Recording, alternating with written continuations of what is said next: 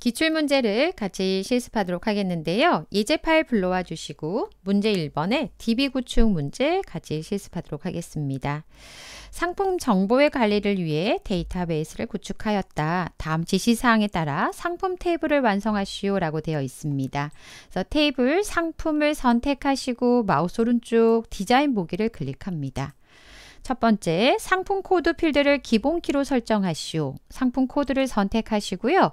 테이블 디자인 탭에 가시면 기본 키라고 있습니다. 클릭 한번 하시고요. 상품명 필드를 선택하시고 기본 키가 아니면서 중복된 값을 갖지 않도록 인덱스를 설정하시오 라고 되어 있습니다. 아래쪽에 인덱스에 오셔서 현재 아니오 라고 되어 있는데요. 목록을 선택하셔서요. 예, 중복 불가능이라고 선택하시면 되겠습니다. 중복된 값을 갖지 않도록 인덱스를 설정하라고 했으니까 네, 중복 불가능 상품명 필드에는 값이 반드시 입력될 수 있도록 상품명 필드가 선택된 상태에서 필수 조건에 더블 클릭하셔서 예로 바꿔주십니다. 다음 상품 코드 필드는 상품 코드를 선택하시고요. 반드시 6글자의 값이 입력되도록 음, 우리 유효성 검사 규칙에다가요. 6글자만 입력될 수 있도록 함수를 이용하셔서 len 함수 입력하시고 네, Shift 누른 상태에서 F2 눌렀고요. 확대 창을 띄워서 len이라는 함수 입력하고 상품 코드에 상품 코드에 그 다음 괄호 닫고요. 상품 코드 필드에 글자 수를 셌을 때 6글자라고 반드시 6글자의 값이 입력될 수 있도록 작성하시고 확인 버튼 누릅니다. 새로운 레코드가 추가되는 경우에는 소비자가 필드를 선택하시고요. 기본적으로 0이 입력되도록 기본값에다가 0이라고 입력합니다. 그래서 새로운 레코드가 추가되는 경우 소비자가 필드에는 기본적으로 0이 입력되도록 그래서 상품 테이블에 대해서 다섯 문항의 테이블을 완성하는 문제 작성하셨다면 저장을 클릭하시고요. 음, 유효성 검사 규칙을 설정하셨기 때문에 표시가 됩니다. 예 한번 누르시고 오른쪽 닫기 버튼 누르겠습니다. 다음은 상품 테이블 다시 한번 선택하시고 마우스 오른쪽 브랜드 코드를 선택합니다. 상품 테이블의 브랜드 코드 필드에 대해서 다음과 같이 조회 속성을 설정하시오 라고 되어 있는데요. 아래쪽에 조회 탭을 클릭하시고 현재 텍스트 상자로 되어 있는 것을 콤보 상자로 바꾸시고요. 그 다음 브랜드 테이블에 브랜드 코드와 브랜드 명을 가져오라고 되어 있습니다. 행 원본에서 점점점 작성기를 클릭하시고요. 그 다음 오른쪽 테이블 추가에 가셔서 브랜드 테이블을 선택하고 더블 클릭합니다. 다음은 브랜드 테이블에 브랜드 코드와 브랜드 명을 더블 클릭하시고요. 그래서 브랜드 테이블에 브랜드 코드와 브랜드 명 추가하셨다면 닫기 버튼 누르시고요. 업데이트 하시겠습니까? 예 누릅니다. 어, 문제에서 바운드 열 필드에는 브랜드 코드로 저장되도록 두 개의 필드를 가져왔는데 첫 번째 필드로 저장하겠습니다 라고 하시면 바운드 열은 첫 번째 열이 되고요. 가져온 열의 개수는 두 개니까 열 개수는 2로 넣습니다. 목록 어, 화면에 제시된 내용을 보니까 브랜드 명만 표시가 되어 있습니다. 열 너비 값을 0이라고 넣어주시면 첫 번째 브랜드 코드는 나오지 않고요. 브랜드 명만 표시할 수가 있습니다. 또한 목록 이해 값은 입력될 수 없도록 할 거 목록값만 허용하겠습니다. 라고 목록값만 허용해서 예로 바꿔주시면 되겠습니다. 상품 테이블에 조회 속성 작업을 하셨다면 다시 한번 저장 버튼 누르시고 오른쪽 닫기 버튼 누르겠습니다. 다음 문제 1번의 세 번째 관계 설정 문제인데요. 데이터베이스 도구에 가셔서 관계를 클릭하시고 그 다음 오른쪽에 상품 테이블 추가하시고요. 분류 테이블 추가합니다. 상품 테이블의 분류 코드는 분류 테이블의 분류 코드를 서로 참조한다 라고 되어 있습니다. 어느 쪽에 어 네, 어느 쪽에서나 이렇게 분류 테이블에서 분류 코드를 상품 테이블의 분류 코드로 드래그 하시면 될 것 같습니다. 그 다음 두 테이블 간에는 항상 참조 무결성을 유지하겠다라고 체크하시고요. 일단 변경되면 분류 코드도 따라 변경될 수 있도록 관련 필드 모두 업데이트 체크하시고요. 그 다음 상품 테이블에서 참조하고 있는 분류 테이블의 레코드를 삭제할 수 없도록 모두 삭제는 선택하지 않고 만들기를 클릭합니다. 관계 설정을 다 하셨다면 닫기 버튼 누르시고요. 저장하시겠습니까? 예 버튼 누릅니다. 그래서 문제 1번 살펴보셨고요. 다음은 문제 2번 입력 및 수정 기능 구현 문제를 보도록 하겠습니다. 상품 등록 폼을 선택하고 마우스 오른쪽 디자인 보기 클릭하시고 첫 번째 CMB 브랜드 콤보 상자를 활성화할 수 있도록 설정하시오 라고 되어 있습니다. 어, 속성 시트를 양식 디자인에 속성 시트 클릭하신 다음 다음 CMB 브랜드라고 어, 콤보 상자를 선택한 다음 사용 가능이라고 되어 있습니다. 데이터 탭에 가셔서 사용 가능에서 더블 클릭하셔갖고 예로 선택합니다. 다음은 폼 바닥글에 폼 바닥글에 unbound 되어 있는 txt 개수를 선택하시고요. 데이터 탭에 오시면 컨트롤 원본이라고 있습니다. 개수를 카운트 하겠습니다. 라고 count 라고 입력하시고요. 별표 입력하신 다음 괄호 닫습니다. 그래서 개수를 구하겠습니다. 라고 입력하시고 확인 버튼 누릅니다. 다음 본문 영역에 본문 영역에 모든 컨트롤에 대해서 본문 영역의 모든 컨트롤에 대해서 홀수, 어, 홀수행, 짝수행, 배경색 다르게 설정하기라고 되어 있습니다. 그럼 본문을 선택하신 다음 형식에 오셔서 다른 배경 색깔을 현재 색 없음이라고 되어 있는데 여기에서 바다색이라고 되어 있습니다. 그러면 목록이 아니라 어, 점점점 누르셔서요. 바다색 강조 5라고 되어 있습니다. 마우스 갖다 놓으시고 바다색 강조 5 60%더 밝게 라고 되어 있습니다. 그러면 어, 두 번째 바다색 강조 5 60%더 밝게 선택해 주시면 되겠습니다. 현재 작업한 상품 등록 폼을 저장 한번 하시고 폼 보기 가셔서 작업한 내용 확인해 보시면 되겠습니다. 오른쪽 닫기 버튼 누르시고요. 다음은 상품 등록 폼에 마우스 오른쪽 디자인 보기를 클릭하시고 그 다음 삭제 버튼을 클릭하면 삭제라고 되어 있는데요. CMD 삭제를 클릭하시고 이벤트에 오셔서 클릭한다 라고 하니까 원클릭을 선택하시고요. 이벤트 프로시저를 작성하겠습니다 라고 선택하신 다음에 점점점 작성기를 클릭합니다. 네, 다음은 작성기를 클릭하셔서 어, CMD 삭제를 클릭하면 어, 상품 테이블에서 상품 코드가 TXT 상품 코드 컨트롤의 값과 동일한 레코드가 삭제되도록 할 거라고 되어 있습니다. requery 메소드를 호출하여 폼의 데이터를 다시 불러올 거라고 되어 있는데요. 어, 직접 작성하기 위해서 do command라고 디, do command 입력하신 다음 run SQL이라고 입력합니다. 한 칸에 스페이스를 띄시고요. 저희는 삭제하겠습니다. 라고요. delete 입력하시고요. 어떤 걸 삭제하실 거냐면 상품 코드를 삭제하겠습니다. 어디로부터? from이라고 입력하시고 상품 테이블로부터 삭제하겠습니다. 상품 테이블에서 상품 코드를 삭제할 건데 조건이 있습니다. where이라고 입력하시고요.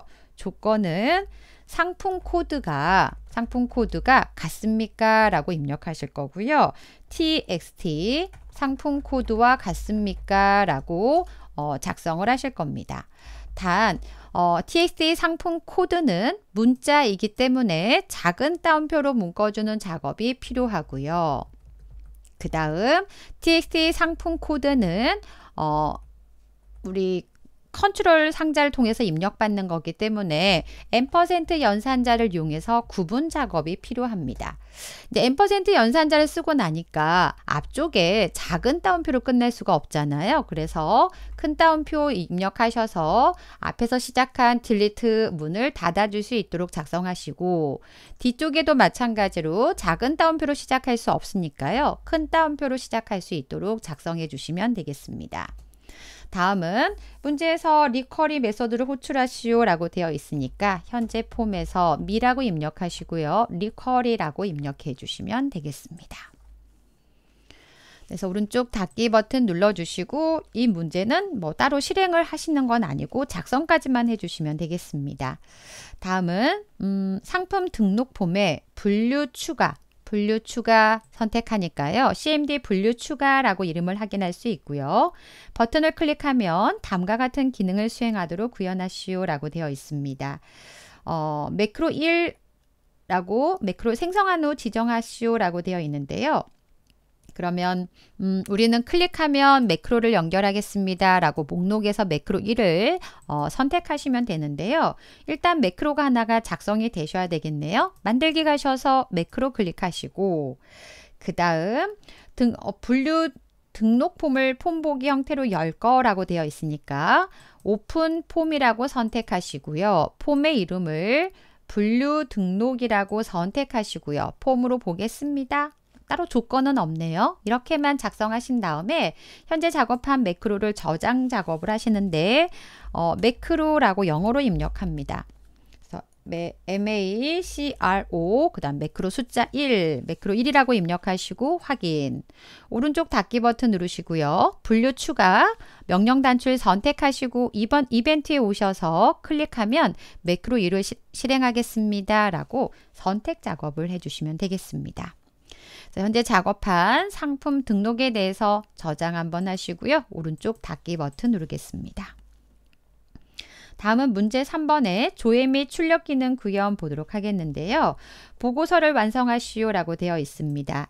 상품 목록을 선택하고 마우스 오른쪽 디자인 보기 클릭하신 다음 다음과 같이 정렬 및 그룹하시오 라고 되어 있습니다. 아래쪽에 봤더니 그룹 정렬 및 요약에 브랜드 코드를 가지고 현재 오름차순 되어 있습니다. 다음과 같이 정렬 및 그룹하시오 2차 정렬 기준을 정렬을 추가하셔서요. 분류 코드를 선택하시고 오름차순 하겠습니다. 라고 선택하시고 분류 코드에 대해서 그룹 바닥글을 설정하세요. 자세히 가셔서 그룹 바닥글 표시 안함을 바닥글 어, 구역 표시라고 선택하셔서 분류 코드 바닥글을 표시해 주시면 되겠습니다. 다음 두 번째 브랜드 코드 머리글 구역을 브랜드 코드 머리글 영역을 선택하시고요. 매 어, 페이지마다 맨 위에 반복 하도록 설정하시오 라고 되어 있습니다. 음, 보고서 디자인의 속성 시트에 가셔서 형식에 가셔서요. 반복해서 표시하겠습니다. 라고 반복 실행 구역에서 예로 바꿔주시면 돼요. 다음 세 번째 브랜드 코드 머리글에 브랜드 코드 머리글에 현재 unbound 되어, 되어 있는 텍스트 상자를 선택하니까 TXT 브랜드라고 표시가 되어 있고요. 데이터 탭에 가셔서 컨트롤 원본에다가 커서를 두시고요. 확대 Shift 누른 상태에서 F2 눌러서 확대 축소 창을 띄웠습니다. 그래서 TXT 브랜드에는 등호 입력하시고 브랜드명을 표시하겠습니다. 라고 브랜드명 입력하시고 그 다음 M% 연산자 입력하셔서 괄호 열고요. 다시 M% 연산자 입력하셔서 브랜드 코드라고 입력합니다. 다시 M% 연산자 입력하셔서 괄호 닫는 작업 하셔서요. 브랜드명 여시고 브랜드 코드라고 입력하신 다음 확인 버튼 누릅니다.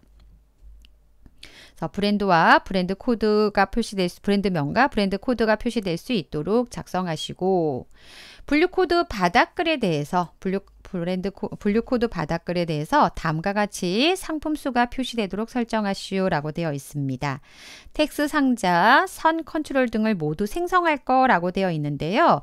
어, 제시된 이미지를 봤더니 중간에 총 상품 수라고 표시가 되어 있어요. 그 다음 아래쪽에 선도 표시가 되어 있고요.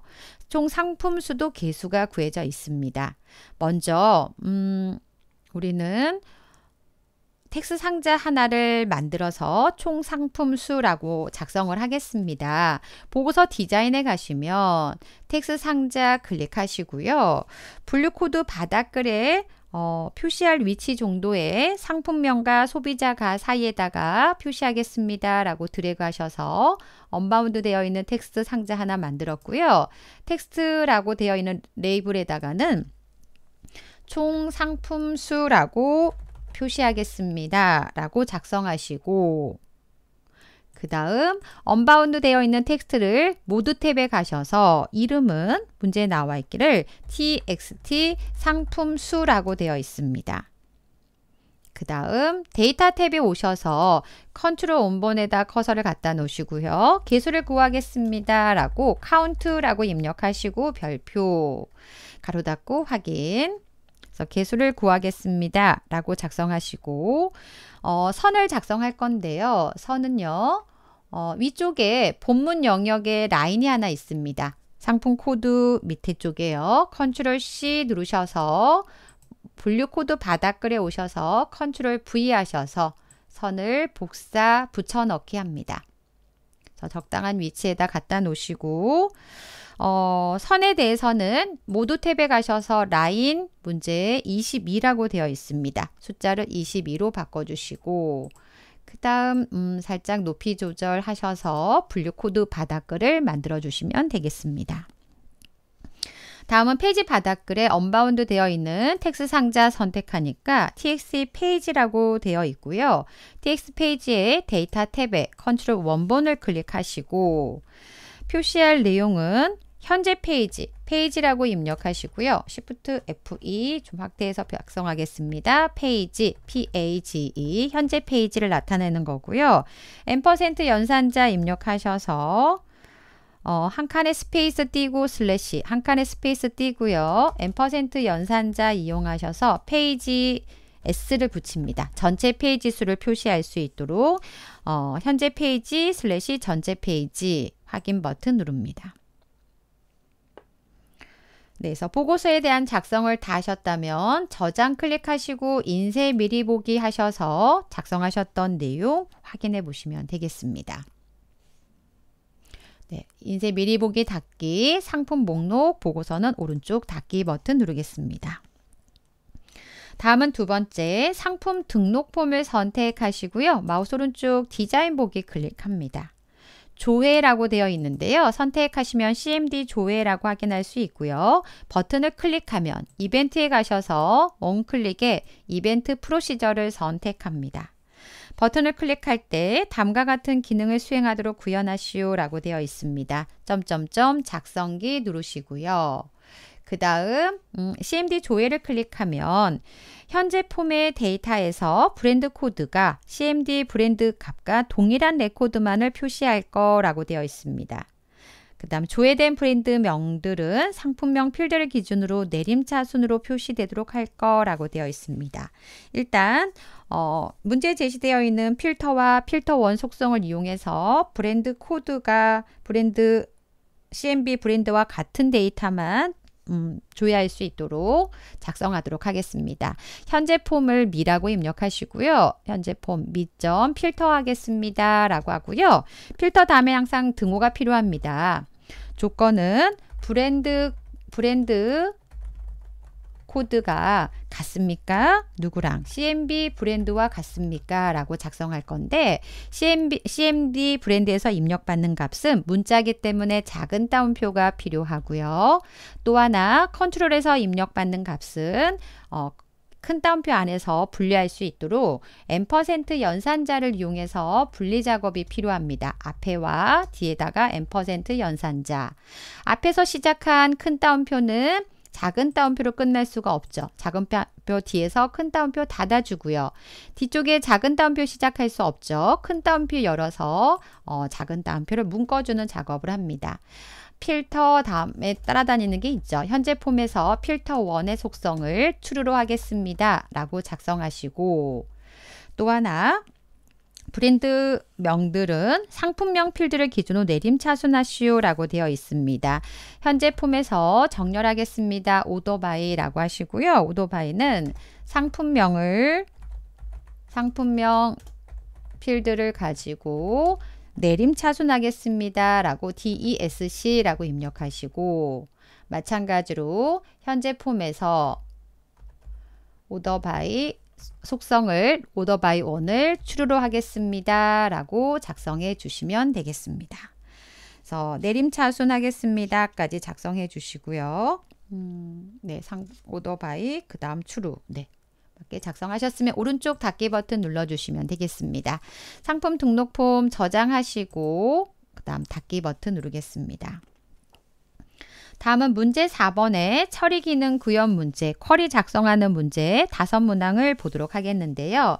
첫 번째 쿼리를 작성하기 위해서 만들기 가셔서 쿼리 디자인을 클릭합니다. 어, 첫 번째 음, 가져오실 쿼리 어, 테이블은 가져오실 테이블은 분류 테이블을 더블 클릭하시고요.